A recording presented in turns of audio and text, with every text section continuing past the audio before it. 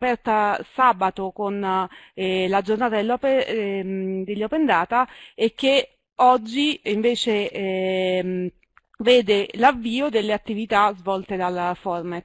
All'interno di questa settimana abbiamo deciso come Formez di eh, tenere cinque webinar su cinque temi che sono cruciali sia per eh, l'OGP Plan che per la, le riforme della pubblica amministrazione. Quindi iniziamo oggi con il FOIA, domani con eh, un webinar sui social network, poi Open Data, Speed e consultazioni pubbliche, anche per eh, presentare il lavoro che eh, è stato portato avanti sul sito open.gov.it. L'abbiamo ehm,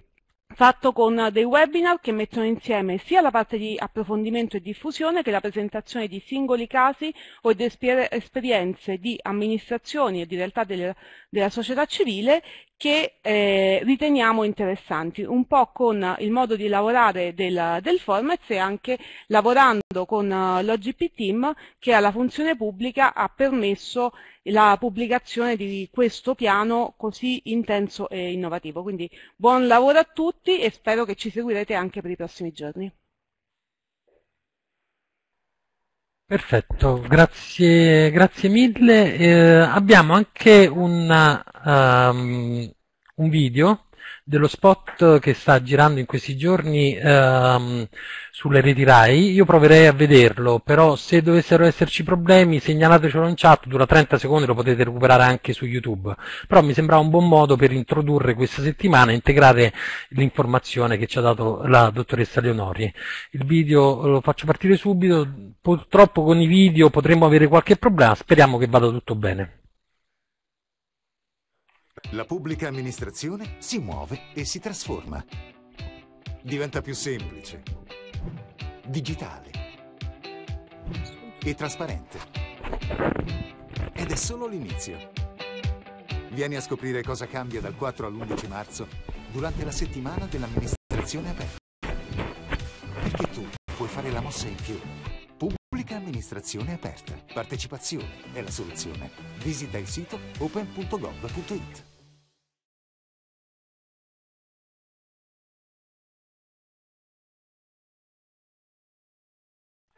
Spero che si sia uh, visto, sì purtroppo qualcuno di voi ci segnala che uh, il video non arrivava in maniera fluida, comunque potete rivederlo su YouTube uh, all'indirizzo che vi giro adesso nella chat, nella chat pubblica. E anche sull'account Twitter di OGP, um, ehm, di Open, Open, um, OGP Italia. Um, perfetto, allora Introduciamo, arriviamo alla giornata di oggi. Abbiamo detto abbiamo uh, cinque, un ciclo di 5 webinar tutti i giorni. Se vi siete iscritti al primo uh, soltanto a questo webinar, vi invitiamo a iscrivervi anche ai successivi, nece è necessario iscriversi a tutti i webinar e quindi non vale una, una, singola iscrizione, per cui per iscrivervi è sufficiente andare sulla pagina di eventi PA e cliccare sul pulsante iscriversi, iscriviti dopo aver fatto il, il login. Arriviamo alla giornata di oggi, oggi parliamo come eh, sapete di uh, FOIA, Um, con il foglio italiano, decreto 97 del 2006, entrato in vigore il 23 dicembre scorso, qualunque cittadino senza bisogno di legittimazione soggettiva e al di là degli obblighi di pubblicazione già stabiliti dal decreto 33 del 2013, può esercitare un nuovo diritto di accesso generalizzato ai dati e ai documenti delle pubbliche amministrazioni. Questo webinar di oggi esaminerà le novità introdotte dal FOIA, vedete già il webcam l'avvocato Ernesto Belisare, si soffermerà in particolare sulle procedure che le PA devono adottare per gestire le richieste di accesso secondo le due linee guida ANAC sugli obblighi di pubblicazione e i limiti, le esclusioni, oltre a presentare anche alcuni casi già sperimentati di prove di accesso.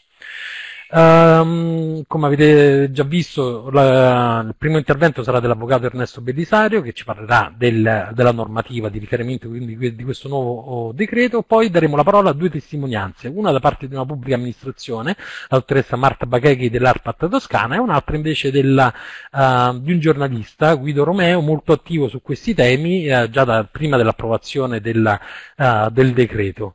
E, ehm, quindi sono le 12.10, io non rubo ulteriore tempo ai relatori, do la parola all'avvocato Ernesto Berristario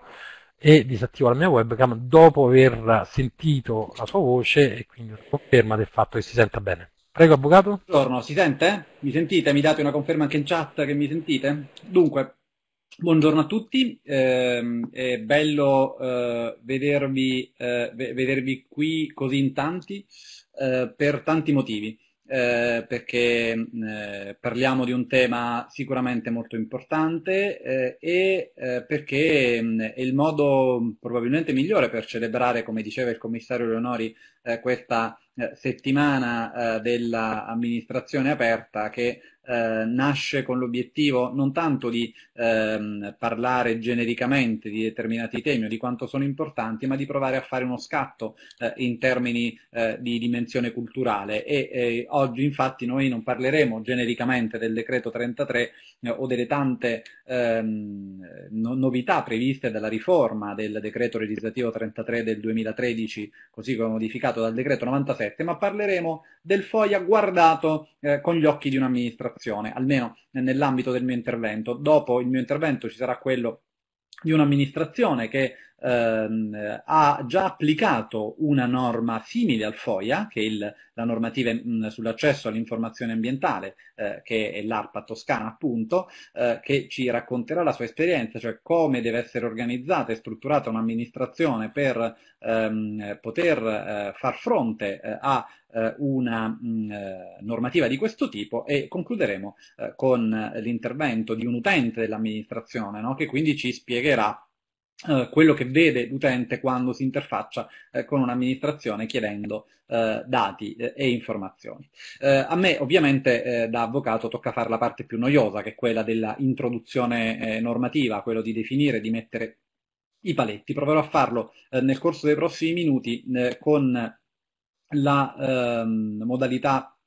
migliore eh, mi, mi, migliore che, che, mi, che, mi, riesce. Eh, ovviamente eh, diamo una precisazione, eh, al momento eh, siete oltre, oltre, 600 e quindi diventerebbe difficile riuscire ad aprire un, una sessione di domande e risposte. Voi però scrivete in chat quelle che sono le ehm, domande, le perplessità e, o le questioni che ritenete aperte e noi e lo staff di Formez, che ringrazio molto per la disponibilità e per affrontare uno sforzo di questo tipo eh, le terranno sicuramente da parte eh, e eh, proveremo mh, a ehm, in qualche modo eh, darvi, eh, darvi, una risposta magari con successive iniziative se proprio oggi non ce la si fa. Bene, comincio da questa slide. Perché una giornata come quella di oggi è importante? Um, non lo dice Ernesto Beridario che per chi lo conosce da tempo si occupa, si interessa ed ha voluto che ci fosse il Freedom of Information Act italiano, lo dice il Consiglio di Stato. Il problema e il tema non è app approvare una norma,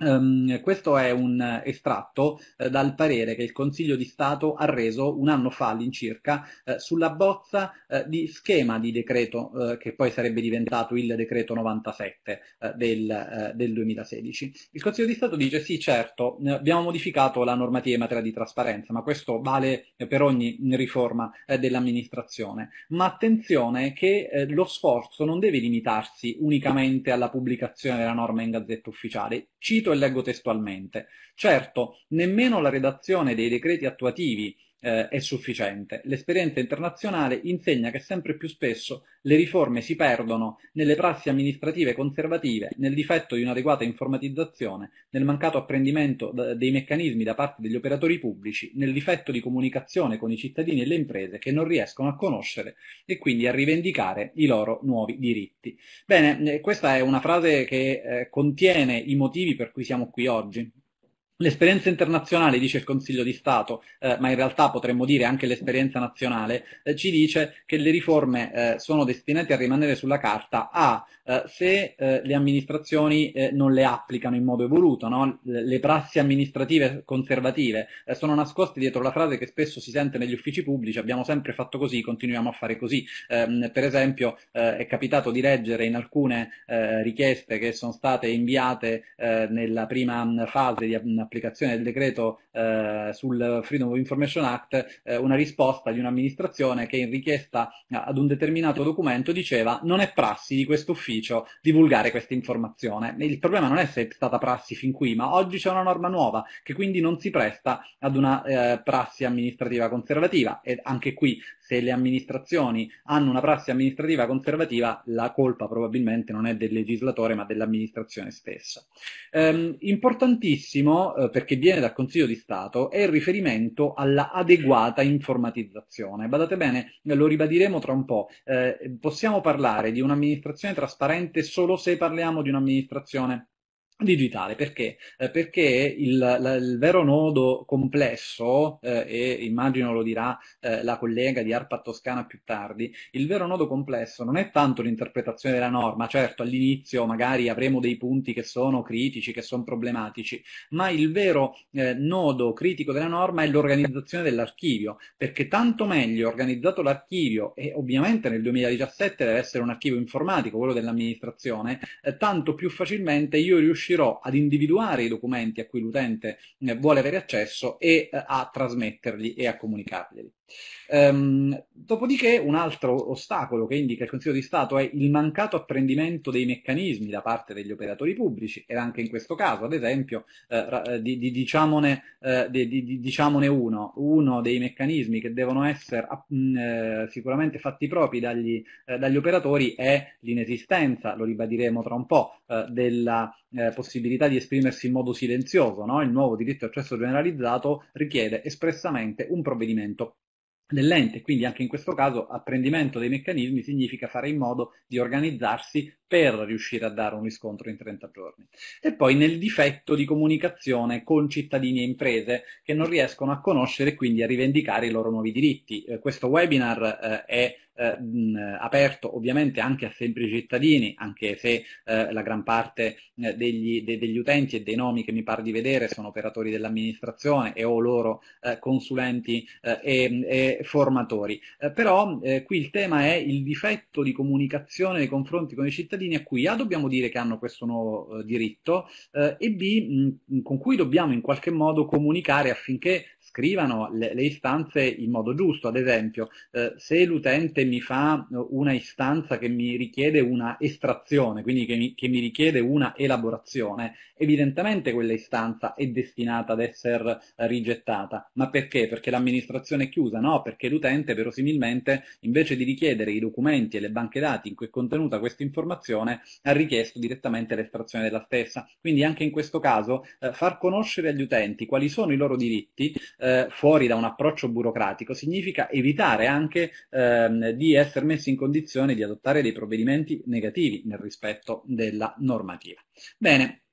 Provo ad andare eh, veloce a questo punto, fatta questa introduzione che ci spiega come la norma è lì, ma eh, per far funzionare la norma abbiamo necessità eh, di eh, organizzarci e di comprenderla e di cambiare le nostre prassi eh, organizzative. Ehm, la norma sul diritto di accesso generalizzato dove è inserita? È inserita, come la gran parte di voi sicuramente sa, all'interno del decreto 33 del 2013. Il decreto 33 del 2013, nato inizialmente come norma che conteneva l'elenco degli obblighi di pubblicazione sui siti web delle pubbliche amministrazioni, è stato arricchito a seguito della riforma della pubblica amministrazione, legge 124 del 2015, articolo 7, ehm, con la introduzione eh, di questo diritto di accesso generalizzato. Um, questo diritto di accesso generalizzato quindi diventa la seconda gamba della trasparenza, quindi quando parliamo di trasparenza amministrativa oggi intendiamo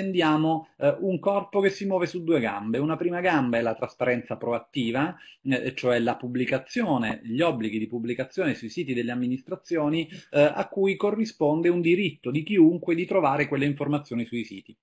La seconda gamba del corpo trasparenza eh, è eh, la cosiddetta trasparenza reattiva, e cioè l'obbligo dell'amministrazione di rispondere alle richieste di accesso eh, che chiunque può fare per accedere ai dati e documenti detenuti eh, dalle pubbliche amministrazioni. Eh, questa eh, disciplina normativa è tutta all'interno del decreto 33 che quindi diventa, come ehm, possiamo, eh, possiamo, dirlo, ehm, il ehm, diritto di accesso generalizzato e il diritto di eh, accesso ai dati e documenti diventa quindi il vero e proprio testo unico sulla trasparenza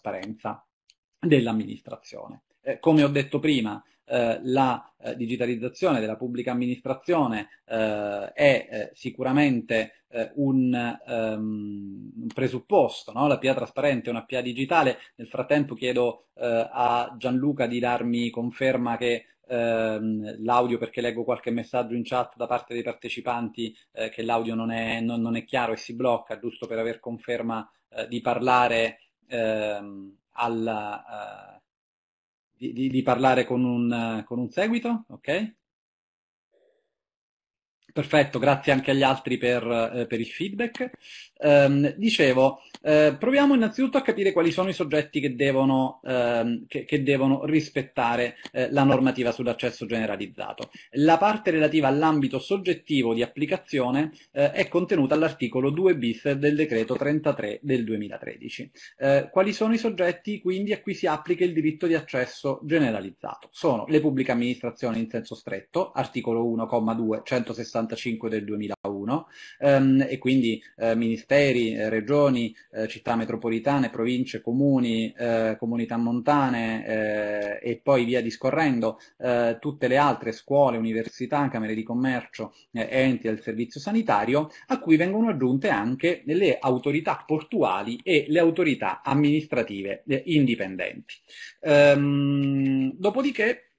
Abbiamo anche gli enti pubblici economici eh, e gli ordini professionali, eh, le società in controllo pubblico, così come definiti all'interno del testo unico sulle partecipate, decreto 174 del 2016, le società partecipate stesse e gli enti di diritto privato finanziati e o controllati da parte della pubblica amministrazione. Ovviamente eh, questo eh, significa ehm, avere un ambito di applicazione assai elevato. Eh, faccio presente, come eh, potrete constatare, dalla lettura dell'articolo 2 bis come naturalmente eh, ai soggetti eh, che invece hanno un eh, inquadramento di tipo privatistico la normativa si applica in quanto compatibile e questo ovviamente dovrà essere, eh, dovrà essere opportunamente eh, valutato eh, e valorizzato. Um, quando eh, ho detto, um, e ho, l'ho fatta facile, che eh, il, il decreto 97 ha introdotto il diritto di accesso generalizzato ai dati e ai documenti detenuti all'amministrazione, eh, non ho detto una cosa che già qualcuno di voi ha fatto notare in chat, eh, per cui magari vi chiedo eh, se ehm, capisco che molti di voi siano già arrivati con il proprio carico di dubbi e di perplessità. Magari eh, vi chiedo di seguirmi e poi magari alla fine eh, della, mia, eh, de, de, della, mia, trattazione mi direte quello che è rimasto, eh, che è rimasto in sospeso. Eh, dicevo, eh, il decreto introduce un nuovo diritto, introduce un nuovo diritto in un ordinamento in cui abbiamo già tanti altri diritti di accesso. No? C'è qualche amico che, ehm, come a mo' di battuta, dice che ormai nel nostro ordinamento giuridico ci sono più accessi complessi che sul grande raccordo, eh, sul grande raccordo anulare. Ecco eh, quello che è un quadro, no? le norme vigenti sui diritti di accesso ci parlano innanzitutto del diritto di accesso documentale, il diritto di accesso 241 eh, ehm, della, della, legge 241 del 1990, capo quinto, articoli 22 e seguenti, eh, dopodiché abbiamo eh, il eh, diritto, chiedo scusa, c'è qualcuno che sta, come dire, che sta muovendo la slide, perfetto. Um, abbiamo il diritto di accesso civico, eh, di cui è l'articolo 5,1 del decreto eh, 33, um, poi abbiamo il diritto di accesso generalizzato, ehm, che è quello che viene introdotto dall'articolo 5,2 del decreto 33. Eh, poi abbiamo i eh, diritti eh, di accesso del consigliere comunale e provinciale previsti dal testo unico decreto legislativo 267 del 2000. Poi abbiamo il diritto di accesso del cittadino del comune eh, e della provincia, articolo 10 del decreto 267 del 2000. E poi abbiamo il diritto di accesso all'informazione ambientale, eh, su cui sicuramente si soffermerà la collega di Arpa Toscana italiana, decreto legislativo 195 del 2005. Quindi come vedete abbiamo diverse norme vigenti. La domanda che mi viene fatta molto spesso è,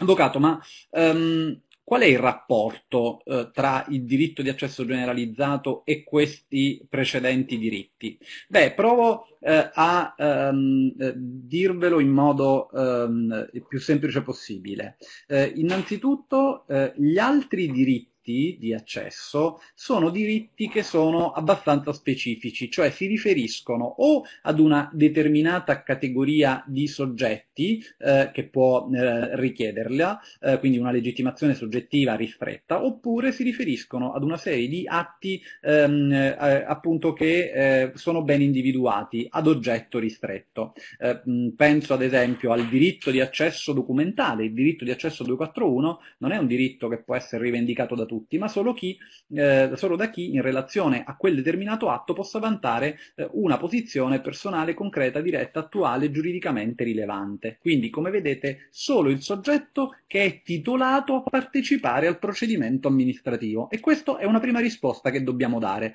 Molti imputano eh, al decreto 33 del 2013 e al decreto 97 che l'ha modificato, di non aver abrogato eh, l'accesso 241 del 90. In realtà sono due accessi diversi che non hanno pericolo di eh, entrare in conflitto, in quanto il diritto di accesso 241 potrà essere eh, posto in essere da chi deve partecipare al procedimento amministrativo, perché l'accesso 241 non è mai stato un accesso eh, con finalità di trasparenza amministrativa, tant'è che l'articolo 24,3 eh, eh, della legge 241 eh, diceva espressamente che in nessun caso il diritto di accesso può essere ehm, ehm, utilizzato al fine di consentire un controllo generalizzato dell'operato della PA, cioè si diceva guarda che il diritto di accesso 241 esiste solo se devi partecipare al procedimento, per tutti gli altri non funziona. Um, il diritto di accesso civico, invece, articolo 5,1, eh, in realtà si chiama diritto di accesso eh, nominalmente, ma in realtà è una richiesta di pubblicazione, cioè voi sapete perfettamente eh, che eh, si tratta dell'istituto a cui si può ricorrere se l'amministrazione aveva l'obbligo di mettere qualcosa sul sito e non l'ha fatto e quindi noi di fatto la stiamo diffidando a farlo nel termine di 30 giorni seguente. Eh, dopodiché esistono altri diritti, c'è il diritto di accesso dei consiglieri comunali e provinciali che in virtù della loro eh, propria funzione di sindacato ispettivo hanno un diritto di accesso molto pervasivo eh, ai dati e documenti contenuti all'interno degli archivi dell'amministrazione, su cui tra l'altro c'è una copiosissima giurisprudenza amministrativa. Poi abbiamo il diritto di accesso, questo è anche molto eh, sottovalutato e tra l'altro abbastanza sconosciuto. Eh, mi fa sorridere quando c'è qualcuno, eh, addirittura alcune volte capita anche eh, a qualche, a, qualche, collega che dice ehm, che dice che noi abbiamo scimmiottato con il FOIA qualcosa che arriva dall'estero, in realtà non è vero, eh, già dal 1990 la legge 142, poi confluita nel decreto 267, aveva inserito questo mini FOIA comunale e provinciale, cioè il diritto di accesso del cittadino residente nel comune o nella provincia di accedere ovviamente con l'obiettivo della partecipazione agli atti del comune e della provincia senza dover dettagliare l'interesse. Eh, questo ovviamente eh, serviva proprio a consentire, dice eh, io presumo l'interesse del cittadino residente eh, nella, eh, nel comune eh, o nella, o, nella, provincia per, ehm, per, accedere a quegli, a quegli atti. Dopodiché ho il diritto di accesso all'informazione ambientale. 195 mi dice che chiunque eh, ha diritto di accedere all'informazione ambientale senza dover spiegare perché. Anche in questo caso si tratta di un diritto di accesso derivazione eh, comunitaria, perché quella è la normativa di riferimento che si applica solo ad una norma ben specifica. Eh, a questo si aggiunge il diritto di accesso generalizzato. E allora, eh, come eh, si concilia il rapporto tra il diritto di accesso generalizzato e il diritto di accesso documentale? Beh, non v'è dubbio che se io sono un interessato, eh, io dovrò eh, continuare probabilmente ad utilizzare la disciplina della legge 241 del 1990, eh, mentre eh, se io interessato a quel procedimento amministrativo non sono, non sono eh, il proprietario del fondo in cui si, eh, limitrofo a quello ehm, in cui si stanno facendo i lavori, non sono un partecipante al concorso, i, ehm, gli elaborati dei cui vincitori voglio vedere, non ho partecipato alla gara d'appalto ehm, della cui aggiudicatrice voglio vedere l'offerta tecnica, allora io dovrò utilizzare il diritto di accesso, eh, di accesso generalizzato. Secondo me, eh, dal punto di vista dell'amministrazione, ehm, ha senso eh, ragionare in questi termini, eh, a eh, approvare, ma questo ce lo racconta già ANAC nell'ambito della delibera 1309 del 2016, ehm, eh, adottare un regolamento sui diritti di accesso, eh, in cui prevedere quantomeno ehm, un unico regolamento ehm, su ehm, diritto di accesso 2490, diritto di accesso civico, quello cioè articolo 5,1 richiesta di pubblicazione e diritto di accesso civico 5,2. Nell'ambito di questo regolamento, oltre a disciplinare proprio eh, per far fronte a quello che dice il Consiglio di Stato, no? eh, comunicazione con i cittadini e le imprese, quindi oltre a comunicare le diverse modalità e le diverse caratteristiche degli accessi in modo da far comprendere a ciascuno e da guidarlo nella richiesta di quello che effettivamente, eh, che effettivamente gli, gli, serve e anche in questo caso ehm, la domanda ma eh, non risponde a criteri di semplificazione sare sarebbe come imputare ad una causa automobilistica eh, di far eh, diversi modelli e non un modello. È chiaro che la causa automobilistica mh, fa più modelli per venire incontro eh, alle nostre, eh, alle, nostre, esigenze e quindi sta a noi poi scegliere qual è l'autovettura vettura, non è la, eh, la, casa automobilistica che fa confusione, siamo noi che dobbiamo eh, comprendere, se vogliamo essere cittadini consapevoli, qual è lo strumento più adatto a tutelare le nostre esigenze in questo caso eh, e eh, la, l'auto più adatta eh, al nostro percorso eh, nel, nel, nel, secondo caso. Um, la cosa interessante che secondo me è necessario valorizzare è che il um, regolamento deve menzionare un'ipotesi, l'ipotesi in cui cioè l'utente non dichiari il titolo giuridico della richiesta. Facciamo conto, io sono un, uh, un, richiedente, io posso dire faccio questa istanza da cittadino del comune della provincia, faccio questa istanza ai sensi dell'articolo 22.241 del 90. In questo caso non ho dubbi che per l'amministrazione eh, il titolo giuridico dichiarato dall'utente eh, sia assolutamente importante eh, per eh, esaminare l'istanza, quindi se l'utente mi ha fatto una richiesta 241 del 90 io la esamino ai sensi della 241 del 90. Ehm, resta da ehm, capire cosa devo fare eh, se l'utente non mi ha segnalato niente, bene, se così fosse, eh, il suggerimento che io vi do è di prevedere all'interno del regolamento sugli accessi eh, che in quel caso l'amministrazione, se eh, è fatta una richiesta di accesso eh, che non dettaglia un titolo e quindi una norma ehm, ai sensi della quale viene fatta, queste istanze saranno trattate ai sensi delle norme sull'accesso generalizzato, cioè articolo 5,2. Eh, bene, mh, mm, accesso civico eh, nuovo, eh, l'ho chiamato, generalizzato lo chiama ANAC, FOIA, lo chiamano alcuni anche noi nel titolo di questo seminario per eh, poterlo eh, identificare chiaramente. Articolo 5,2 dice, allo scopo di favorire eh, forme diffuse sul perseguimento delle funzioni istituzionali e sull'utilizzo delle risorse pubbliche e di promuovere la partecipazione al dibattito pubblico, chiunque ha diritto di accedere eh, ai dati e ai documenti detenuti dalle pubbliche amministrazioni ulteriori rispetto a quelli oggetto di pubblicazione ai sensi del presente decreto nel rispetto dei limiti relativi alla tutela di interessi giuridicamente rilevanti secondo quanto previsto ai sensi dell'articolo 5 bis. Eh, cosa dice l'articolo 5,2? Di fatto introduce un nuovo diritto, il diritto di chiunque, legittimazione soggettiva la più ampia possibile, persona fisica, cittadino italiano, cittadino straniero, apolide, persona giuridica, eh, associazione riconosciuta, non riconosciuta eh, e, via, eh, e, via, discorrendo, ehm, ha diritto, posizione giuridica soggettiva piena, tutelabile di fronte al giudice amministrativo, di ottenere i dati e i documenti presenti, detenuti dalle amministrazioni, quindi non formati. Qual è il vincolo? Il vincolo è basta che il dato del documento sia detenuto dall'amministrazione, cioè sia nel suo archivio, eh, anche se formato da altri. Naturalmente questo eh, significa rispondere ad un'altra domanda che di solito viene fatta, ma se la richiesta si riferisce a documenti eh, che erano già formati prima del 23 dicembre 2016, data di entrata in vigore di questa norma, eh, allora che cosa significa? Um,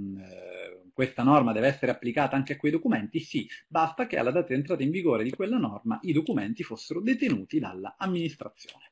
Bene, eh, provo eh, a mh, mm, fare eh, con questa slide un po' un riepilogo di procedimento, cercando di capire in parte quali sono eh, i requisiti normativamente previsti eh, e in parte quali sono, secondo me, eh, quelle che mh, mm, saranno le prescrizioni che le amministrazioni dovranno adottare nei loro regolamenti, alcune delle quali già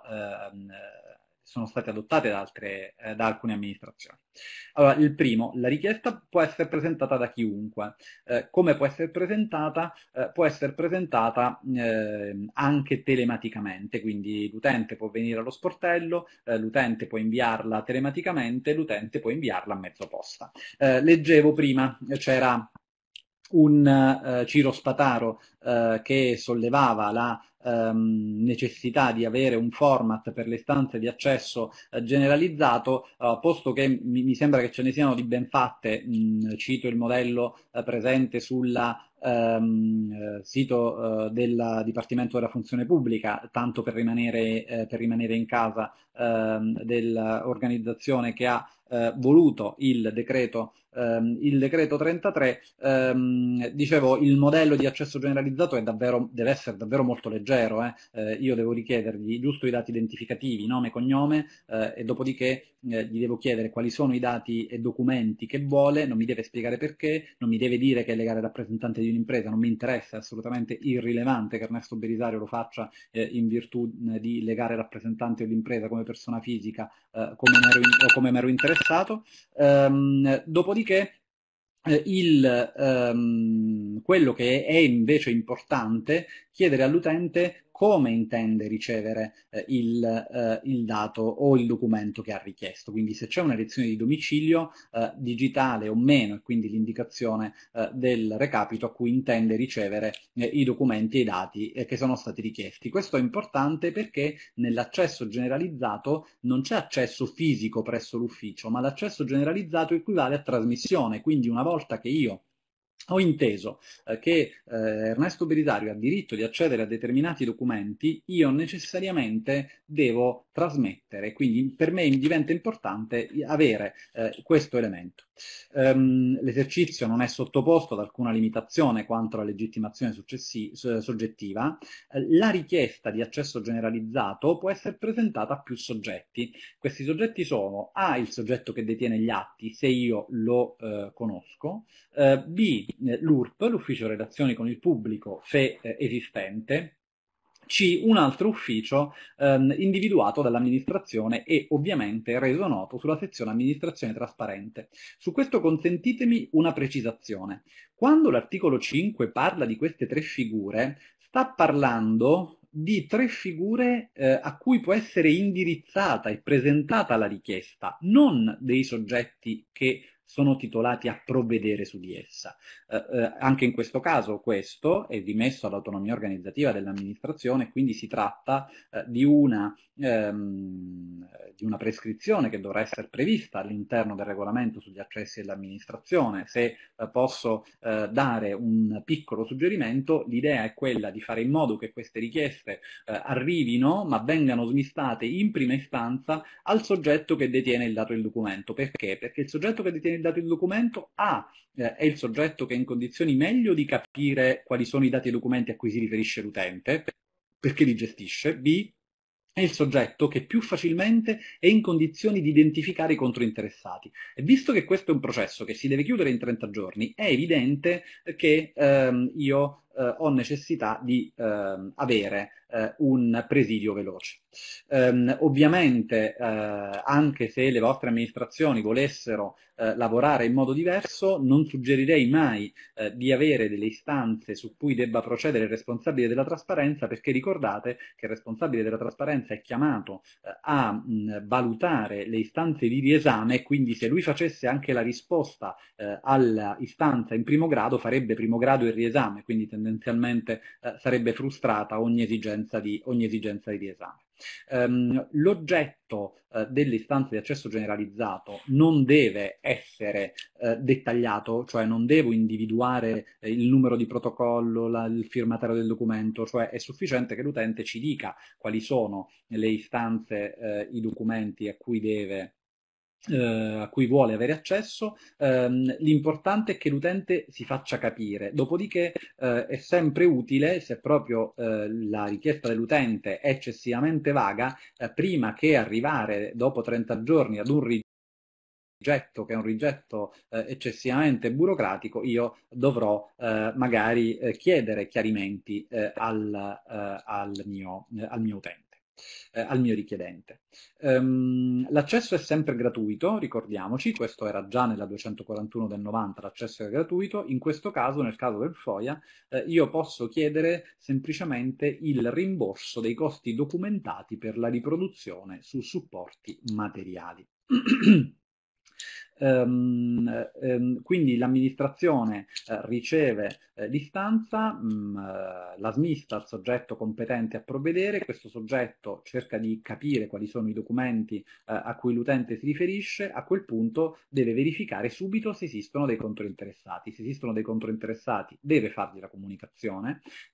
e attendere dieci giorni mh, dalla ricezione di questa comunicazione eventuali opposizioni.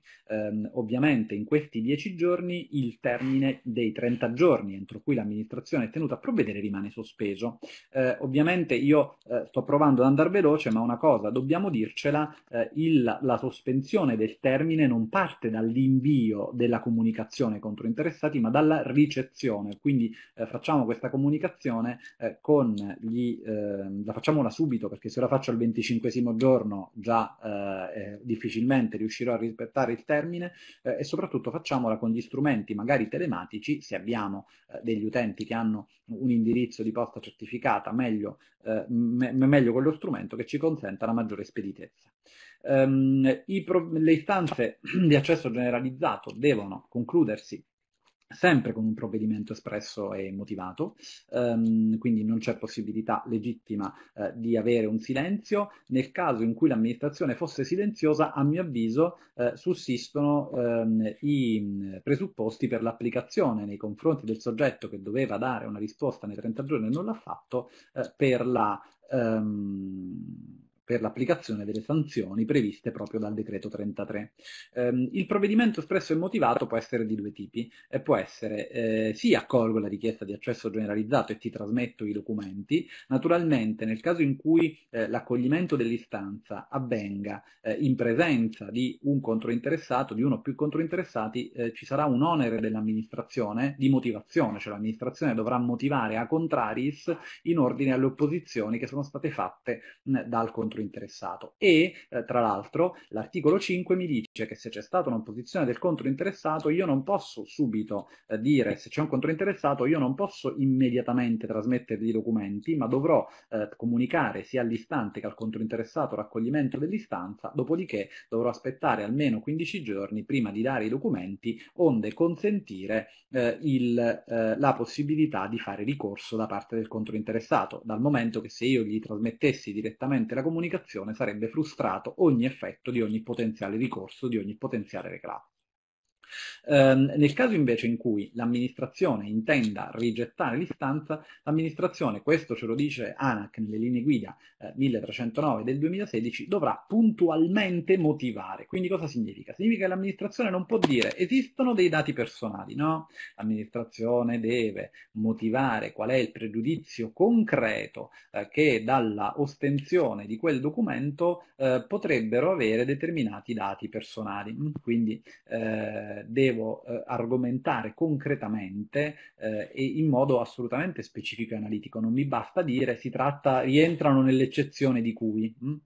Um, avverso i provvedimenti in materia di accesso civico, ehm, sono ammessi rimedi stragiudiziali prima di andare al TAR, prima o in alternativa, quindi posso andare subito al Tribunale amministrativo regionale competente del territorio oppure eh, posso eh, effettuare prima una richiesta di esame al responsabile della trasparenza che ha 20 giorni eh, per provvedere eh, oppure posso andare dal difensore civico eh, eh, laddove ovviamente esistente, nel caso in cui non esista, se c'è un livello territoriale eh, immediatamente superiore, posso andare davanti a quel difensore civico che anche deve esprimersi eh, in un tempo assai ristretto. Come vi dicevo prima, e qui mi avvio eh, alla conclusione eh, nella consapevolezza che 20 minuti sono pochi, ma nella speranza di aver inserito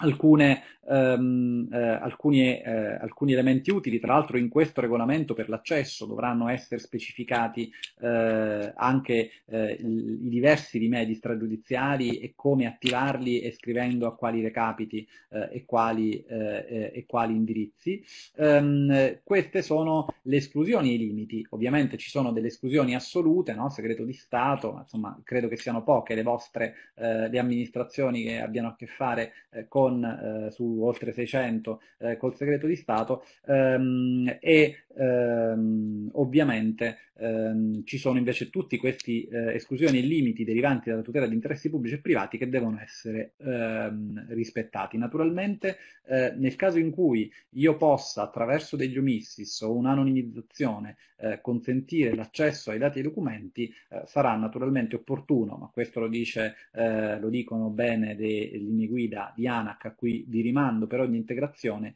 1309 del, eh, del, 2000, eh, del 2016. Ehm, provo eh, prima di, di, ringraziarvi, i ricorsi al responsabile trasparenza e a quello del difensore civico sono alternativi o successivi? Beh, direi che sono essenzialmente alternativi, nel senso mi scelgo un rimedio stragiudiziale, dopo quello eh, ho la, eh, il rimedio al Tribunale amministrativo regionale. Bene, scusandomi se ho sforato, ma davvero ho provato a comprimere più informazioni che potevo in questi eh, minuti che mi sono affidati, nella consapevolezza di aver sicuramente lasciato molti temi aperti, eh, ma nella speranza che ci saranno occasioni per sciogliere questi nodi, io vi ringrazio. Eh, sì, Ernesto, eh, ci sono parecchie domande, a questo punto avviso tutti i partecipanti che abbiamo sforato un po' i tempi, per cui quello che possiamo fare è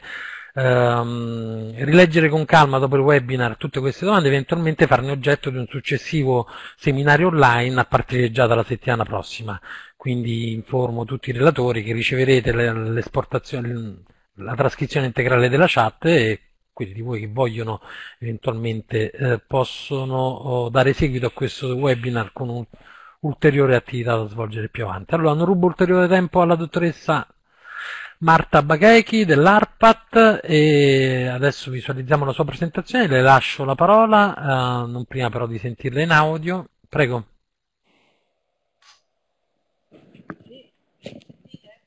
Sì, le chiedo di avvicinarsi un po' al microfono, nel frattempo ne approfitto per una comunicazione di servizio, a questo momento Abbiamo più di 700 partecipanti collegati contemporaneamente, un numero molto alto, potete immaginare, e vi comunico, visto che qualcuno lo sta già chiedendo, le presentazioni già sono online, la registrazione ovviamente solo al termine dell'evento stesso. E prego, dottoressa Bachechi. Sì, buongiorno, eh, sono Marta Bachechi del settore affari generali di ARPAT, l'Agenzia regionale toscana per la protezione dell'ambiente. E, questa nostra partecipazione a questo seminario è dovuta al, sostanzialmente al fatto che come agenzia eh, regionale per la protezione dell'ambiente abbiamo una esperienza in fatto di accesso alle informazioni ambientali e di eh, diffusione delle informazioni ambientali. Eh, la nostra normativa di riferimento è una normativa che si inserisce eh, nella più ampia normativa sull'accesso alle informazioni, eh, sull'accesso documentale, ehm, che nasce tuttavia nell'ambito di ehm, un disegno eh, anche eh, culturale a livello direi non solo europeo ma mondiale eh, soprattutto perché trattandosi di interessi ambientali eh, vi è un coinvolgimento necessario dei cittadini che vengono considerati come soggetti interessati a partecipare a quelli che sono i processi decisionali pubblici. Eh, vale la pena ricordare la Convenzione di Aarhus del 1998 eh, durante la quale sono stati ehm, sottolineati i tre pilastri di quella che è considerata la governance ambientale, e cioè l'accesso alla diffusione all'informazione ambientale, eh, ponendo l'accento sulla trasparenza e sulla necessità di organizzare le pubbliche amministrazioni al fine di rendere eh, possibile l'accesso alla diffusione all'informazione, la partecipazione pubblica ai processi decisionali per cui ogni cittadino è considerato stakeholders e eh, l'accesso alla giustizia, quindi il non rispetto del diritto consente la possibilità per ogni cittadino di tutelarsi. Eh, in Italia, eh, nel nostro ordinamento, la Convenzione è stata recepita ehm, grazie anche eh, diciamo, il, il, recepimento di una direttiva europea del 2003 nel eh, decreto legislativo 195 del 2005 che è il, il decreto, il testo unico sull'informazione ambientale. Eh, la necessità di dare trasparenza all'informazione ambientale, eh, poi la ritroviamo anche in altre eh, disposizioni normative, come il decreto legislativo 152 del 2006, che è il testo unico in materia ambientale, e anche in altre normative, eh, in modo particolare cito quella sulla valutazione di impatto ambientale, nelle quali comunque sempre si pone l'accento sul dare la pubblicità a quelle che sono le decisioni eh, del decisore pubblico. Ehm, il decreto legislativo 195, eh, tema di informazione ambientale, pone dei principi eh, fondamentali eh, che eh, rivediamo in un certo senso eh, ripetuti eh, quelli che poi saranno eh, i principi che poi ritroviamo nella normativa successiva in base eh, sull'accesso generalizzato. Per cui ehm, è garantito eh, ad ogni cittadino eh, l'accesso all'informazione ambientale che è informazione detenuta dalla pubblica amministrazione e eh, eh, la garanzia della più ampia trasparenza ehm, eh, e la messa a disposizione eh, per i cittadini ehm, attraverso anche sistemi di diffusione eh, telematici ed informatici. Quindi si dice che il diritto eh, all'informazione ambientale sia uno, uno, strumento che ha una multidimensionalità, in quanto è uno strumento eh, che può anche orientare eh, quelle che sono le scelte del decisore politico, in quanto è uno strumento che consente ad ogni cittadino la partecipazione e conseguentemente anche il controllo su quello che è l'attività pubblica per quanto riguarda questa legge eh, esclusivamente sul, sulla tutela dell'ambiente. Eh, quello che è importante anche eh, sottolineare, eh, perché eh, accanto alla, al decreto legislativo ehm, che è appunto del 2005, quindi in un momento antecedente a quello che è stato poi lo sviluppo successivo eh, che, a cui stiamo ehm, assistendo eh, dell'ampliamento del, dei principi di trasparenza e di accesso alle informazioni, ehm, abbiamo una, un fiorire di eh, orientamenti giurisprudenziali. E questi orientamenti giurisprudenziali eh, sono importanti anche perché in qualche modo ci servono a distinguere quello che è eh, il diritto all'informazione ambientale rispetto all'accesso generalizzato. Per cui intanto eh, la pubblica amministrazione che gestisce le informazioni ambientali è obbligata ad acquisire le informazioni e a renderle accessibili anche mediante un'attività di ricerca e un'attività di elaborazione dei dati eh, posseduti. Quindi eh, noi siamo tenuti a rielaborare i dati, ricercare e rielaborare i dati cosa questa che ci ha eh, nell'esperienza fatta eh, obbligati anche a sostenere un lavoro eh, piuttosto oneroso per la messa a disposizione di dati che una volta raccolti eh, possono essere dati eh, grezzi che quindi vanno rielaborati affinché i cittadini possano eh, leggerli e utilizzarli.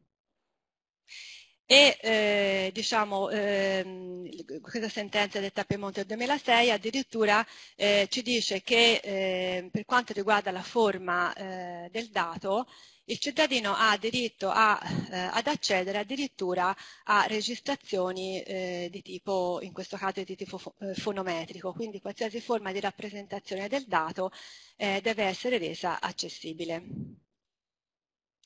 Ehm, a differenza dell'accesso generalizzato, la eh, normativa in campo ambientale ci dice che eh, non è consentito eh, l'accesso eh, al fine di effettuare un controllo sistematico e generalizzato sull'operato della pubblica amministrazione, mentre eh, è concesso eh, l'accesso per un controllo diffuso in campo ambientale. Non solo eh, è consentito l'accesso ai dati e alle, eh, ai dati eh, di, di, monitoraggio e di controllo ambientale, ma anche alle misure che il decisore eh, ritiene di mettere in campo. Eh, per quanto riguarda eh, la definizione di richiedente pubblico è analoga, in quanto ogni cittadino eh, ogni organizzazione, eh, quindi anche persone fisiche persone giuridiche, eh, noi abbiamo spesso eh, nella nostra esperienza avuto richieste da parte di comitati di cittadini, che quindi sono portatori di interessi diffusi e ehm, eh, diciamo già la normativa ambientale considera il diritto di accesso all'informazione come un diritto di accesso ehm, eh, autonomamente esistente, quindi non collegato a uno specifico interesse, proprio per consentire a tutti i cittadini un controllo diffuso sulla qualità ambientale. Eh, per quanto riguarda le case di esclusione dell'accesso eh, cerco di andare veloce perché eh, il tempo a disposizione non è molto. Ehm, tengo a eh, sottolineare ehm, le cause di cui all'articolo C, eh, al punto C e al punto D della slide, in quanto sono stati gli elementi che eh, maggiormente ci hanno impegnato eh, per escludere o limitare il diritto di accesso. Quindi ogni volta eh, ci sono stati chiesti informazioni eh, in ambito di procedimenti ehm, relativi ad indagini eh, o delegate dalla magistratura o, eh, o ispezioni eh, in campo ambientale, eh, ci siamo eh, trovati costretti ad opporre il segreto istruttorio e nella nostra esperienza e nel nostro regolamento, di cui poi eh, accenneremo, eh, ci siamo dati come regola addirittura eh, il fatto di ehm, chiedere eh, direttamente al procuratore la possibilità di ehm, eh, far accedere il, il cittadino, però eh, chiedendo ovviamente preventivamente l'autorizzazione da parte del, del procuratore. E altro eh, punto importante è eh, la, la, valutare eh, se ehm, nell'ambito della richiesta si eh, potevano ledere eh, delle informazioni commerciali o industriali. Ora, nel,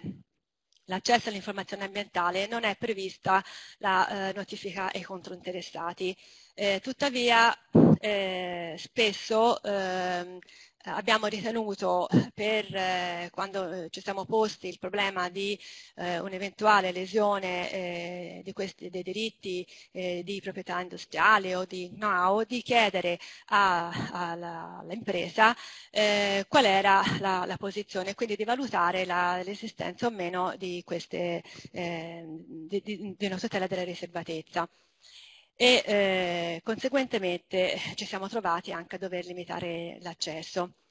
Ehm, eh, ovviamente poi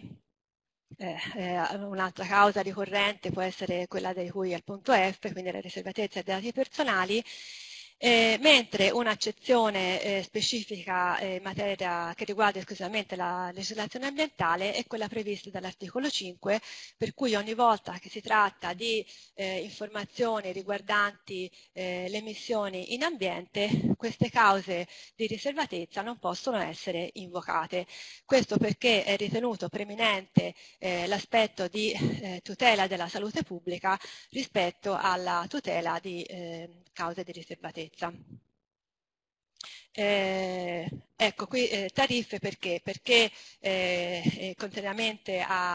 all'accesso generalizzato eh, l'accesso alle informazioni ambientali può avere un costo in quanto ogni volta eh, la pubblica amministrazione debba ricercare ed elaborare appunto questo lavoro è oneroso e e può comportare eh, il pagamento di una tariffa che viene eh, quantificata preventivamente.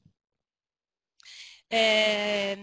diciamo nello specifico noi eh, ci siamo dati eh, dal punto di vista della nostra organizzazione e della nostra strutturazione intanto un regolamento eh, che eh, eh, regola sia l'accesso alle informazioni ambientali sia anche l'accesso documentale.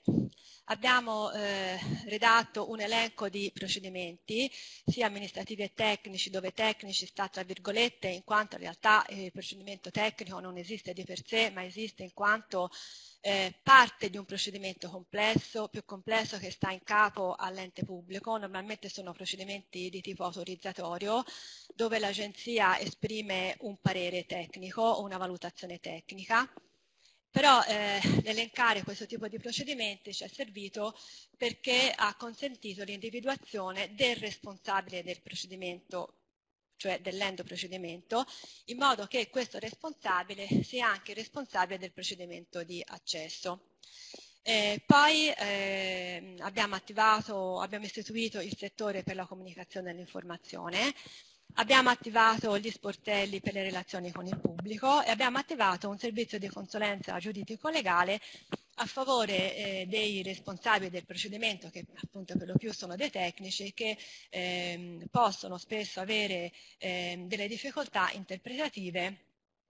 e applicative della normativa e, e delle, sulla valutazione de, per, la, per la valutazione, per la ponderazione degli interessi in gioco. Fondamentali sono gli strumenti gestionali, quali gli archivi elettronici dell'informazione dei documenti. Eh, ci siamo dotati da anni eh, di un sistema di gestione documentale, quindi ogni documento che entra in agenzia viene acquisito eh, elettronicamente, viene archiviato elettronicamente, questo consente eh, una diciamo, maggiore facilità nel riperimento delle informazioni degli archivi elettronici su web, quindi noi abbiamo eh, le cosiddette banche dati su web che vengono popolate in continuo, eh, abbiamo, eh, dobbiamo realizzare eh, il registro de unico degli accessi perché ancora eh, questo è diciamo, una novità che dovrà essere realizzata, mentre l'archivio delle richieste eh, diciamo,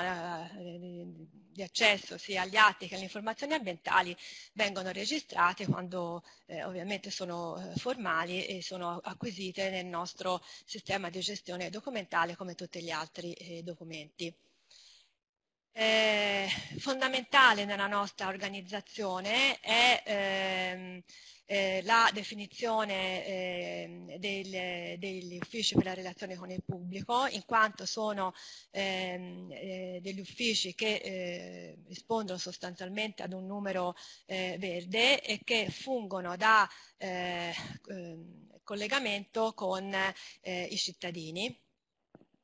e che riescono a dare delle informazioni riguardo alle modalità di accesso e addirittura a rispondere nell'immediato se hanno la possibilità eh, e le conoscenze di, eh, diciamo, di rispondere immediatamente al cittadino che telefona oppure di dare informazioni come poter procedere per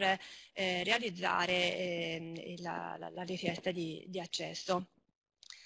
Eh, normalmente eh, se non è possibile eh, appunto eh, la, la, risposta immediata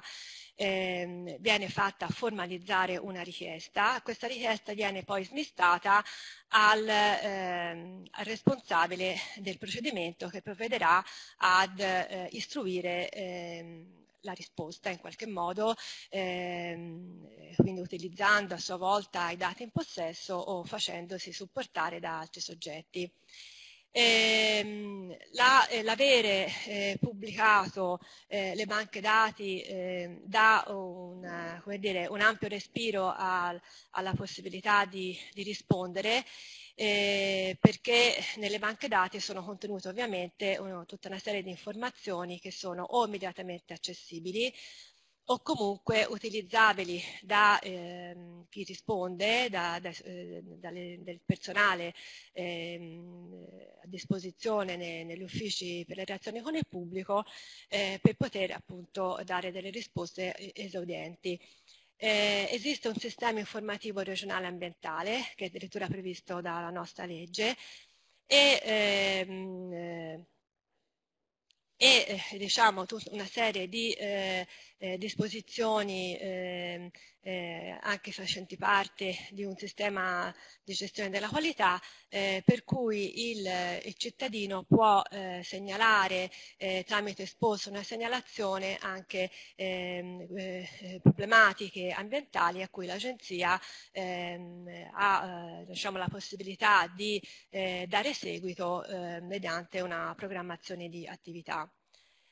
Eh, la legge 30 è la legge toscana numero 30 2009 che ehm, inserisce eh, tra i principi eh, fondamentali proprio quello dell'informazione ambientale.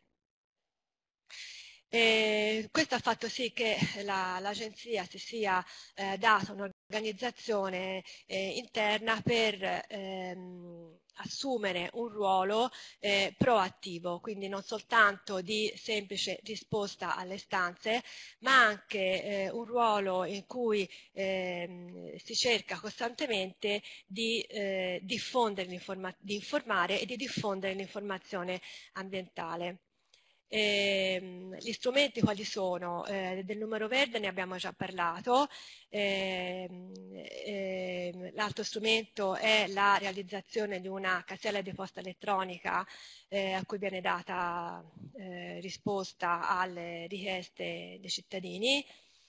Ehm, L'URP ehm, è considerato non, appunto, non un centralino, ma diciamo un centralino eh, evoluto in quanto eh, ha una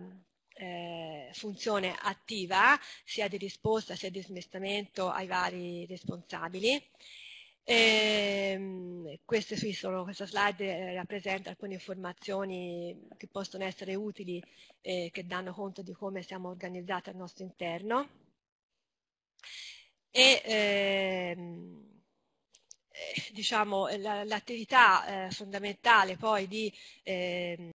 che riguarda eh, la, nostra, la, nostra, agenzia è quella di ehm, eh, raccogliere questa mole enorme di dati che abbiamo e che ci derivano sia da, dai monitoraggi ambientali sia dai controlli ambientali.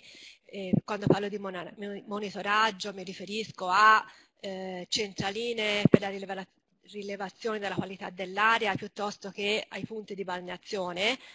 mentre i controlli sono i controlli puntuali che vengono fatti eh, sulle varie matrici ambientali e che sono programmati e eh, effettuati tramite eh, del personale specializzato. Eh, quindi attività che eh, comporta l'acquisizione di una mole notevole di dati che devono ovviamente essere organizzati perché sono dati grezzi. Quindi i dati vanno sia validati sia resi disponibili in qualche forma eh, possibile alla quale i cittadini possono, eh, possono eh, approdare. qui sono un po' di dati eh, che danno conto di quante notizie eh, riusciamo a, accumulare. Ecco, la, eh, il sistema mediante il quale riusciamo a eh, diffondere queste notizie sono vari, ovviamente sono tutti eh, utilizzabili tramite, tramite web. Abbiamo la newsletter, eh, quindi delle informazioni ehm, eh, sia quotidiane, ehm, nel senso che eh, gli iscritti alle newsletter possono decidere se averla quotidiana, mensile o settimanale. E abbiamo, ecco, questo è un esempio di eh, newsletter un po', un po datata, eh, che dà ehm, l'esempio della, della, tematica e della capacità anche di approfondimento della, della notizia. Eh, abbiamo i fatti di attualità, eh, quindi una rubrica eh, sulla quale eh, sono pubblicati ehm, eh, articoli di interesse, ehm, precisazioni, quello che diciamo, eh, può in qualche modo aver preso il posto del comunicato stampa quindi anche risposte eh, specifiche a eh, richieste specifiche di cittadini. Eh, questo è un esempio di, eh, appunto, di eh, notizie eh, nella, nella, nostra rubrica. Eh, poi abbiamo eh, le banche dati organizzate anche sotto forma di report eh, che vengono standardizzati e prevedono delle strutture specifiche, delle strutture fisse. Questo è un esempio di eh, report sulla qualità dell'aria, ehm, sul monitoraggio eh, ambientale sulle acque superficiali e eh, su risultati su altri eh, tipi di, di eh, monitoraggi. Eh, poi importante è l'annuario. L'annuario eh, che esiste in ARPAT dal 2012 eh, viene redatta appunto annualmente e contiene al suo interno eh, una serie di dati che vengono organizzati in maniera ehm, eh, facilmente comprensibile e questo è stato un grosso sforzo da parte della comunicazione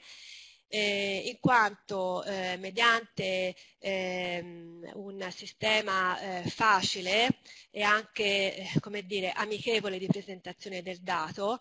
è possibile per ogni cittadino accedere e eh, vedere eh, in maniera così mh, eh, molto, molto, semplice, molto, eh, utilizzando una infografica che non ha necessità di eh, didascalie, ehm, comprendere quello che eh, è lo stato dell'ambiente in Toscana, quindi quello che è lo stato dell'ambiente che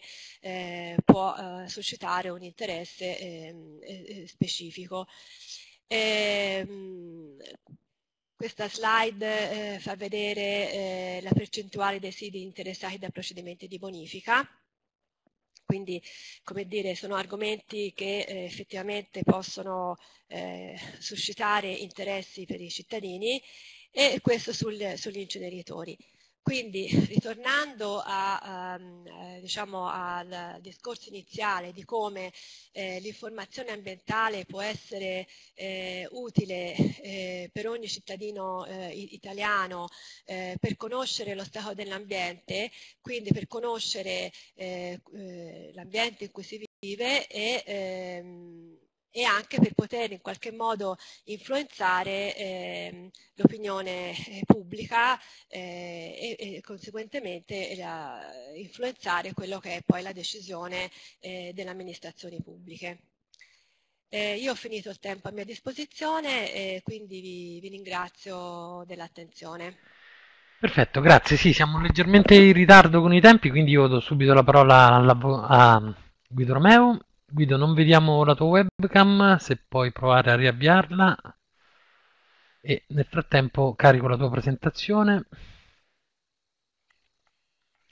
Allora, nel caso non dovessimo riuscire a attivare la webcam, ti chiedo di, com di cominciare comunque il tuo intervento senza alcun problema. Ehm... Prego Guido, vediamo se riusciamo a vederti, se no ti chiederei comunque di iniziare e non, non è un problema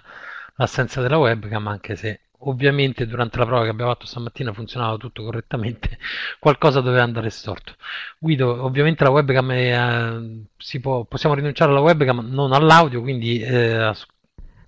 non, in questo momento non ti sento, prova mm, a riattivare il microfono cliccando sull'icona che vedi nella barra di menu e intanto che tu attivi um, microfono e webcam, io vi ricordo che um, i materiali e le presentazioni utilizzate dai relatori di oggi sono già disponibili su Eventi Piano, la pagina dedicata a questo evento, la registrazione lo sarà brevissimo, appena terminato l'evento stesso. E potete ancora iscrivervi agli eventi successivi della settimana uh, dell'amministrazione aperta. Uh, Guido, continuo a non vederti, per cui ti chiederei intanto di attivare il microfono e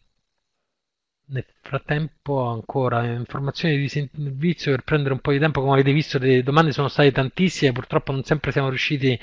ad evaderle tutte, ma uh, gli interventi erano particolarmente interessanti, quindi non volevamo interromperli, ma uh, come vi dicevo anche tra, un, tra l'intervento dell'avvocato Belisario e quello della dottoressa Bachechi uh, abbiamo raccolto tutte le domande che inoltreremo ai relatori e poi vedremo assieme a loro qual è la modalità migliore per poter dare seguito a, questo, a questa attività.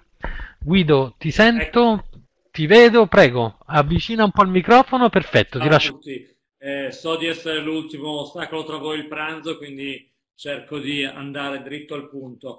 Io sono giornalista, sono, uh, sto, scrivo per il Sole 24 Ore, in passato ho lavorato molto per uh, Wired, dove eh, abbiamo fatto moltissimo uso delle richieste di accesso agli atti. Eh, la uh, ragione per la quale mi interesso di Foia è diciamo, che sono stato così, fulminato sulla via di Damasco anni fa da queste dichiarazioni di, eh, di Re Adolfo di Svezia che hanno più di 250 anni. È vero che eh, tutti attribuiscono la trasparenza eh, alla rete, ai personaggi con Tim Berners-Lee, ma eh, è una cosa storica che è data eh, molto più antica.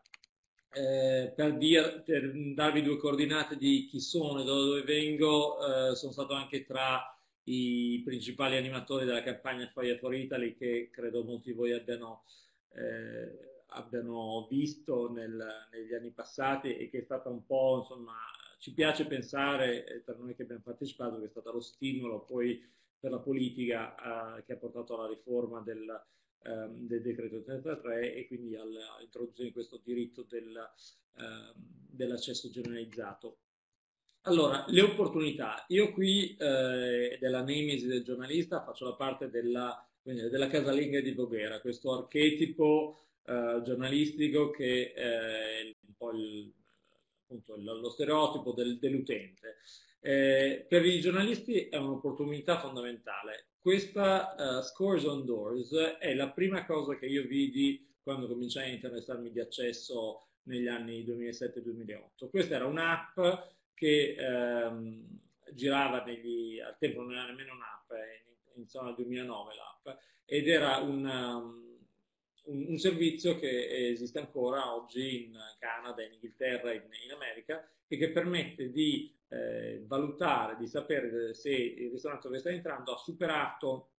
le ispezioni sanitarie eh, e quindi se la sera vai a casa col mal di pancia oppure no. Eh, capite che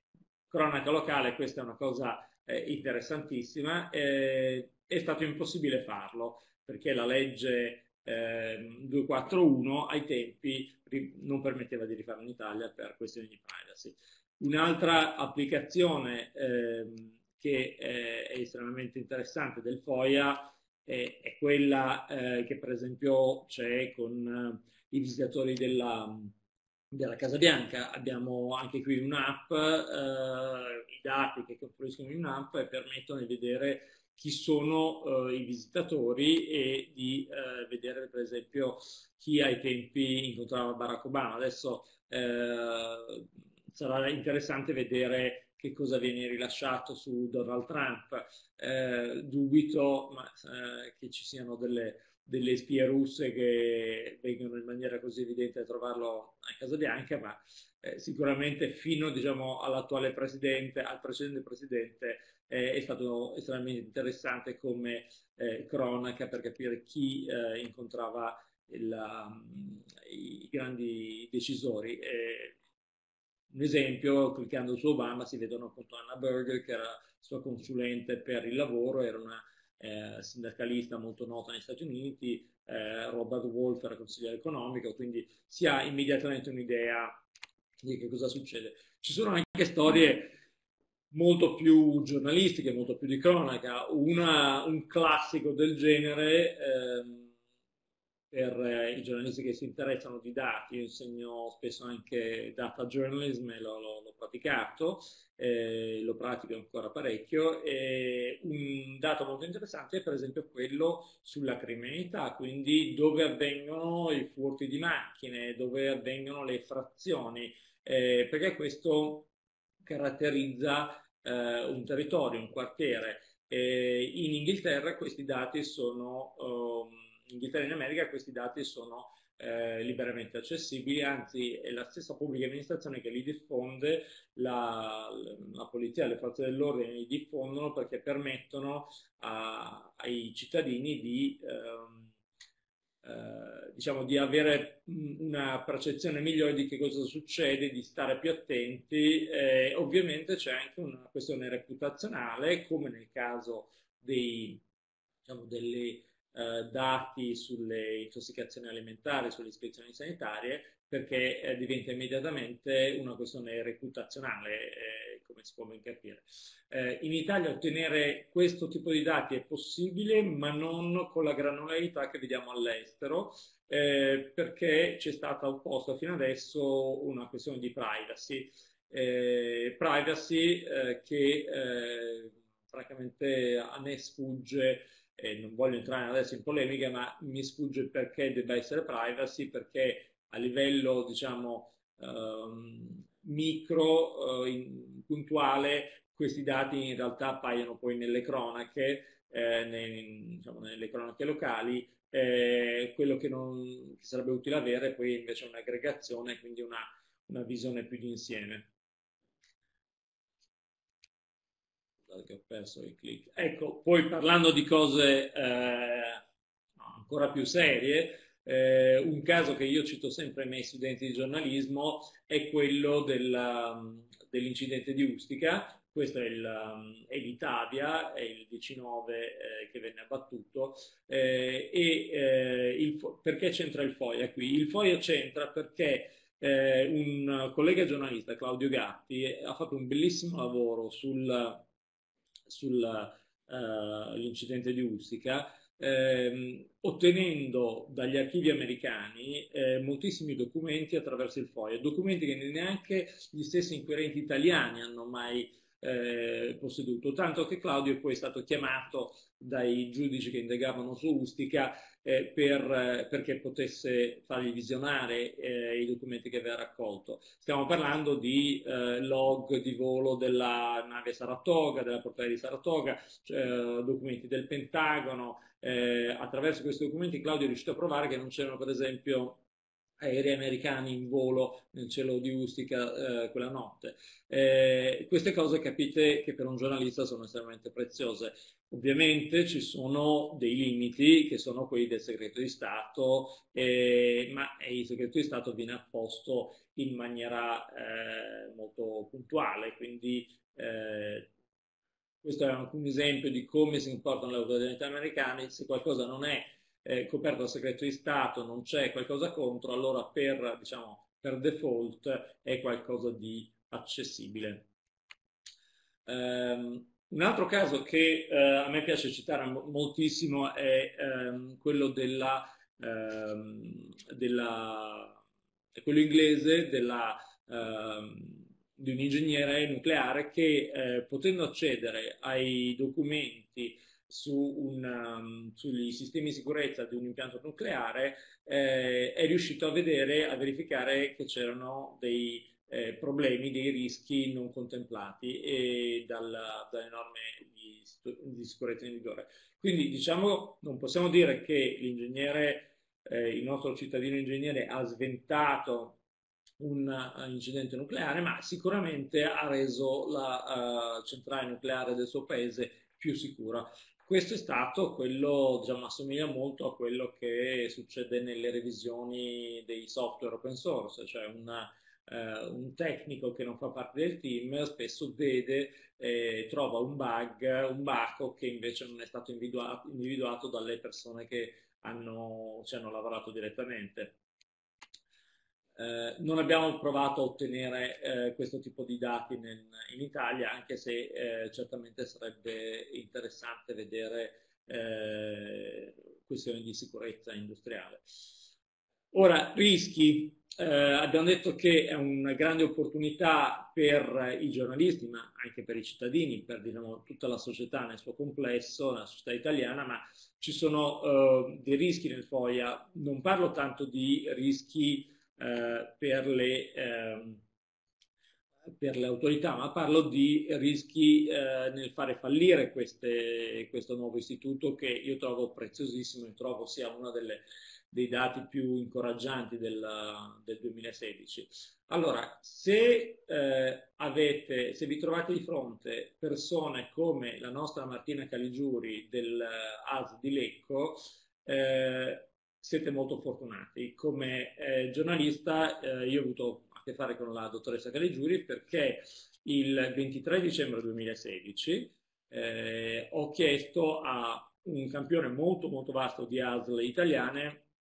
uh, un'informazione molto semplice, anche, anzi tre informazioni. Eh, la prima era quanti erano i ginecologi e i loro dipendenti, quanti di questi eh, fossero um, obiettori di coscienza e infine la terza era quali erano i nomi eh, di questi obiettori. Eh, non vi dico adesso come sono state le risposte, eh, anche perché eh, usciremo presto a breve con un articolo su questo, ma eh, la cosa importante da notare nella risposta della dottoressa Caligiuri è la data. Io l'ho mandato, ho mandato la richiesta il 23 dicembre e lei il giorno stesso mi aveva risposto. Questo è, secondo me, il comportamento più virtuoso che ci possa essere, almeno da un punto di vista formale. Eh, perché rispondere subito per tempo nell'arco della prima settimana è preziosissimo per eh, sia per l'amministrazione perché eh, ci sono quei famosi 30 giorni eh, di cui abbiamo sentito che cominciano a decorrere da quando vi faccio domanda, sia per il giornalista, per l'utente che ehm, naturalmente ha interesse eh, a ottenere una risposta in tempi eh, abbastanza brevi. I giornalisti, devo dire, in questo, in, su questo fronte sono estremamente impazienti anche perché i nostri tempi sono accelerati rispetto a quelli di un, uh, di un semplice cittadino, come potete ben capire dalle nostre pubblicazioni. Questo è un altro esempio virtuoso, secondo me, perché comunque nel, in meno di una settimana la, um, la Michela Rosetta ha risposto, quindi eh, segnalo che eh, ci sono degli ottimi casi e c'è la capacità di eh, gestire questo tipo di processi in maniera molto rapida. Il rischio quindi sostanzialmente è quando non ci sono uh, dei colleghi uh, delle amministrazioni così uh, solleciti e, e, noi lo chiamiamo in, diciamo, tra amici il rischio del foglio alla matriciana, cioè un po' di confusione, si perdono i primi 15-20 giorni. Eh, per la cronaca, nelle richieste che ho fatto, vi dico che soltanto eh, un 25%, meno del 25% ha risposto alle mie richieste, nel senso che ha avuto una replica di domande e, e quindi ancora quello che è il silenzio di niego, se vogliamo, è stato altissimo. Questo io trovo il dato più rischioso perché non entriamo neanche nel merito di che cosa si chiedeva, ma se, se l'amministrazione non risponde svuota completamente l'istituto della, diciamo, del dialogo con il cittadino. In più espone il uh, giornalista a un grosso rischio uh, e anche l'amministrazione. Io sono stato, uh, diciamo, proprio a causa di una di un'email persa e dovuto, ho dovuto ricorrere al TAR per un procedimento in cui chiedevo l'accesso a dei documenti del Ministero dell'Economia e Finanze sui derivati di Stato e eh, la cosa che, stupito, che, ci ha stupito molto in questo procedimento è che eh, sì, l'amministrazione non aveva risposto, ma non è che applicasse un silenzio di nego. Nella, eh, poi nel suo, nelle sue carte di difesa di fronte al TAR ha scritto chiaramente che eh, la PEC, quindi la posta elettronica certificata, che dovrebbe essere eh, diciamo, lo strumento più sicuro, era stata in realtà eh, smarrita, quindi eh, non avevano proprio visto la mia domanda. Quindi qui siamo al, diciamo, al, a un problema proprio di gestione della corrispondenza che eh, non, non, permette neanche di iniziare un discorso su che cosa si stava chiedendo e sulla liceità e quindi impone un, un peso molto forte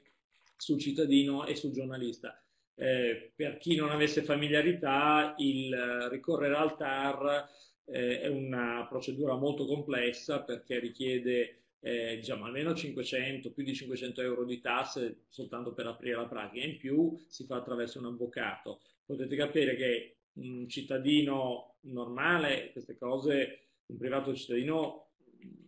magari eh, non le fa eh, semplicemente perché non se le può permettere. Una, un organo di stampa eh, spesso viene dissuaso, se pensate che poi molta della, ehm, della stampa di oggi è, è, fatta da giornalisti freelance, eh, stiamo completamente uccidendo la possibilità dei media di utilizzare questo tipo di, ehm, di strumento.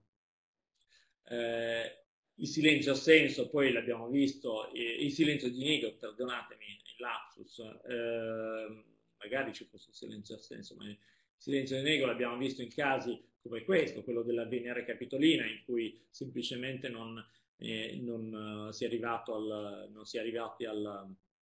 a ottenere niente. Eh, questo era un, un, accesso fatto con uh, insomma, il decreto 33. Eh, L'avevamo visto nel 2013, eh, io sono tra i fondatori di un'associazione che si chiama Diritto di Sapere, che è la principale eh, organizzazione italiana per quello che è la, il diritto all'accesso.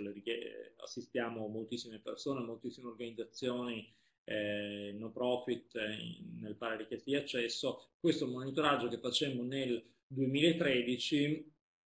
utilizzando soltanto la 241 perché al tempo non c'era neanche il decreto trasparenza, eh, il 30, il primo, la prima versione del 33, i, i dati furono eh, terribili perché eh, c'era un 73% di risposte non soddisfacenti, in, nel quale poi si nascondeva un 65% di silenzio amministrativo. Questo al tempo ci aveva messo al gradino più basso d'Europa nella qualità di risposte della pubblica amministrazione. Eh, segnalo che con diritto di sapere stiamo ripetendo questo esercizio e all'inizio di aprile al Festival di Perugia, eh, al Festival di giornalismo di Perugia, eh, presenteremo eh, i risultati. Eh, spero molto di vedere risultati eh, molto migliori di quelli di tre anni fa. Il rischio quindi è che venga incoraggiata quella che vediamo da anni, che quel, quel muro che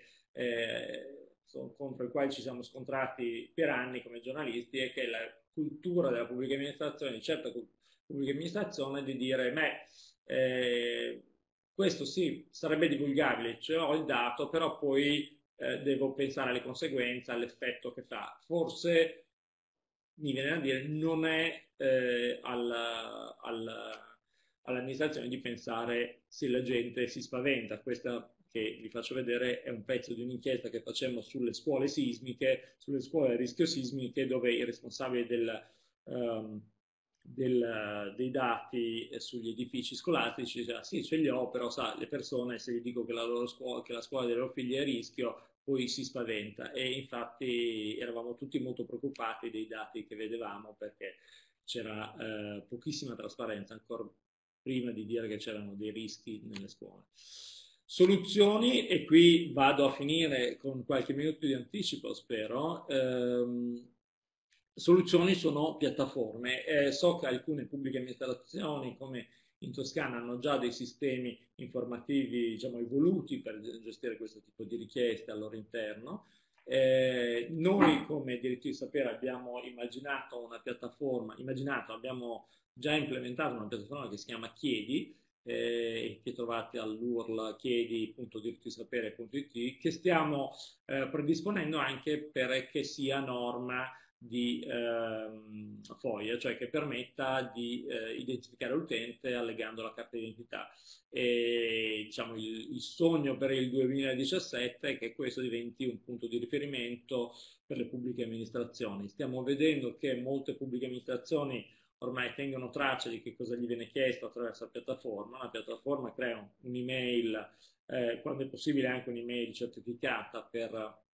interloquire con le pubbliche amministrazioni e ha il grande vantaggio eh, di permettere al cittadino di non dover andare a cercare l'ufficio perché cataloga da sola cioè da sola, i ragazzi che ci sono dietro li catalogano, ma non, ha già al suo interno tutto un database di eh, responsabili trasparenti, di uffici protocollo, ai quali viene mandato automaticamente l'email. Quindi per il cittadino è una, eh, non dico che sia una passeggiata, perché comunque eh, ci vuole una certa competenza nel chiedere, nel capire cosa va chiesto, ma è sicuramente molto accelerata, molto semplificata. E poi naturalmente la piattaforma tiene conto di eh, che cosa è già stato chiesto, permette di effettuare ricerche, quindi ha tutti i benefici di quelli che sono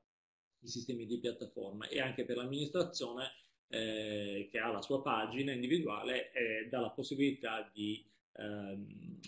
di, mostrare quali sono già le risposte date senza dover ripetere sempre, eh, rispondere sempre alle, alle stesse eh, richieste che sono uguali. Io vi ringrazio, vedo che c'è una, uh, una chat molto animata e forse se avete ancora voglia la glicemia non è troppo bassa possiamo rispondere a qualche domanda. E Guido, sì, se vuoi, abbiamo ancora, abbiamo già sparato di qualche minuto, ma eh, se i nostri partecipanti sono interessati possono anche fermarsi ancora un po' con noi e proviamo a rispondere a qualche domanda. Altrimenti, come dicevo anche per gli interventi precedenti, rileggeremo dopo il webinar tutte le domande arrivate in chat e poi vedremo qual è la modalità migliore per dare seguito alle richieste. Ehm, come preferite. Eh, sono, ci sono talmente tante domande. Eh,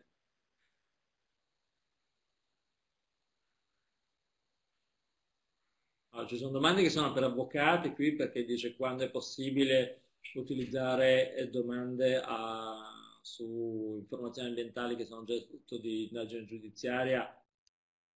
mm, preferisco che qui a rispondere siano, siano sia Belisario che sicuramente più titolato di me. Credo che tutto quello che sia, sotto, che sia oggetto di indagine sia in qualche modo eh, escluso dal FOIA, però questo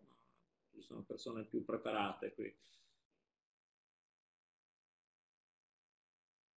Allora, c'è una domanda, quali sezioni dell'attuale box dell'amministrazione trasparente sono utili ai giornalisti? Eh, bah, allora, una delle più utili è avere che ci siano i riferimenti del, del, uh, del responsabile della trasparenza da contattare. Sicuramente tutte quelle che sono le sezioni eh, relative ai costi della politica. I costi della politica io non li ho nominati nel, nel, nel rapido elenco di eh, cose che possono fare i giornalisti con il FOIA, ma sono, sono un, un, classico, diciamo, le, le, le vedete, diciamo, gli, i cosiddetti scontrini dei politici sono tra le cose che diciamo, vengono più, uh, più coperte da, da, tutti i media in tutti i paesi. E in Inghilterra e negli Stati Uniti sono diventati proprio un, un, un pane quotidiano. Eh, in Italia ancora questo, questo, viene fatto, ancora abbiamo tantissimi problemi a ottenere eh, spese disaggregate. Eh, perché molti, molti amministratori eh, aggregano per, eh, se non, non addirittura per semestre, ma comunque per mese e quindi viene è difficile capire se una somma di eh, 3.000 euro al mese per viaggi e ristorazione è una somma congrua, una somma eccessiva oppure no, perché non si capisce che cosa c'è dentro ovviamente.